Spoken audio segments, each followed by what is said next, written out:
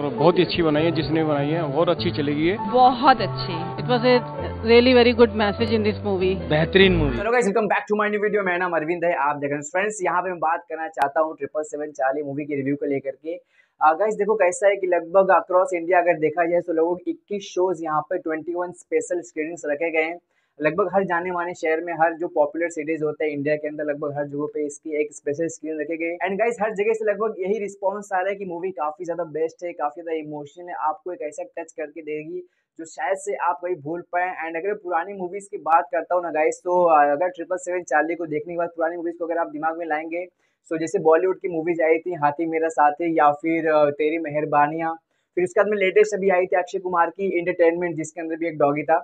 सो so, कहीं ना कहीं जो डॉगीज होते हैं जो एनिमल्स होते हैं वो जिस तरह की अनकंडीशनल लव आपको शो करते हैं ना वो आपको मूवीज़ में कहीं ना कहीं दिख जाता है। एंड ट्रिपल सेवन चार्ली के जितने भी लोगों ने यहाँ पे स्पेशल स्क्रीन अटेंड किए अगर आप उन लोगों के रिव्यूज़ चेक करेंगे तो आपको मालूम पड़ा कि मूवी काफ़ी ज़्यादा इमोशनली आपको टच करती है। एंड गाइस अगर देखा जाए लॉजिकली अगर चेक किया जाए ना तो जो मूवी आपको इमोशनली एक बार टच करती है ना वो डेफिनेटली बॉक्स ऑफ़िस और काफ़ी बढ़िया तबाही मचा सकती है। जैसे अभी आप लोगों ने मेजर मूवी का स्पेशल स्क्रीन देखा होगा सो so, काफ़ी ज़्यादा यहाँ पे पॉजिटिव रिव्यूज़ आए थे काफ़ी ज़्यादा यहाँ पे लोग अप्रिशिएट किए थे इस मूवी को। एंड इसी वजह से मूवी को शोज़ कम मिलने के बावजूद मेजर मूवी ने इतने अच्छे खासे कलेक्शन किए। एंड वहीं पे अगर देखा जाए ट्रिपल सेवन चाहे तो ट्रिपल सेवन साली भी लगभग उसी पाथ पे चल रहा है उसी रास्ते पे चल रहा है।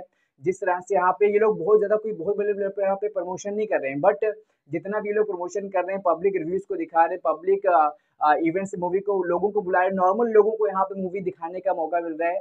तो जब नॉर्मल लोग मूवी देखते हैं जब कॉमन मैन मूवी देखता है तो जिस लेवल पे आपकी मूवी को प्रमोट कर देगा आप सोच नहीं सकते।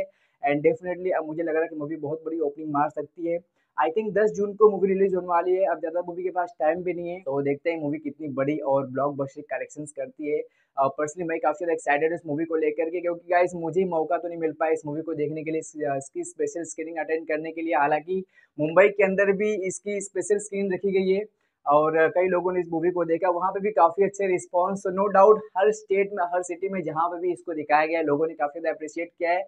एंड डेफिनेटली ये मूवी काफ़ी अच्छे कलेक्शन कर सकती है। मूवी का बजट भी बहुत ज़्यादा नहीं है इस मूवी का बजट भी आई थिंक अक्रॉस पंद्रह से बीस करोड़ है। सो आप निश्चिंत हो जाइए कि मूवी लॉस में ना चली जाए, कुछ ऐसा प्रॉब्लम नहीं होगा।